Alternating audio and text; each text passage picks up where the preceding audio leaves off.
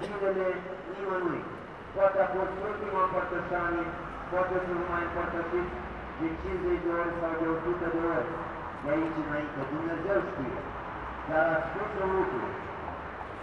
La cina ta cea de taină, astăzi Fiul Dumnezeu, părtaș mă primește și atenție, să nu voi spune vrăjmașilor tăi taina ta și nici sărutare nu-ți voi da ca Iuda. Ce a făcut Iuda sărutându-l pe Mântuitorul Iisus Hristos? L-a trădat, l-a vândut, l-a condamnat la moarte, printr-un gest prietenesc.